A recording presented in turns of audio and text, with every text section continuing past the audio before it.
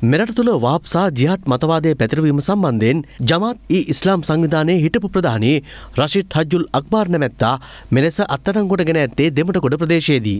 හැට හැවිරිදි ඔහු අසර විසිහතරකට අධික කාලයක් ජමාතයේ ඉස්ලාම් සංවිධානයේ ප්‍රධානයා ලෙස කටයුතු කර තිබෙනවා. සැකරු මාවනැල්ල බුදුපිළිම කැඩීමේ සිදුවීමට අත්තරංගොඩගත් සැකරුගේ සමීපතම ඥාතියකු බවටද අනාවරණ වී ඇතැයි පොලිසිය සඳහන් කළා.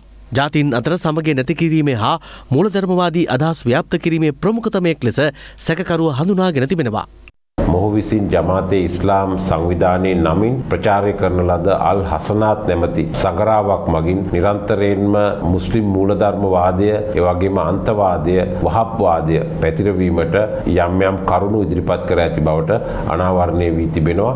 එවගේම අල් හසනාත් නැමති සගරාව මගින් විවිධ ලිපි පර කරමින් ආගමික විසංවාදයක් ඇති කිරීමට මේ පුද්ගලයා කාලයක් තිස්සේ උත්සාහ දරා ඇති බවටයි වාර්තා වෙන්නේ. මේ අතර අන්තවාදී ක්‍රියා සම්බන්ධයෙන් අත්අඩංගුවටගත් පුද්ගලයින් පුනරුත්ථාපනය කිරීමට විශේෂ විධිවිධාන ඇතුළත් ගැසට් පත්‍රයක් නිකුත් කර තිබෙනවා.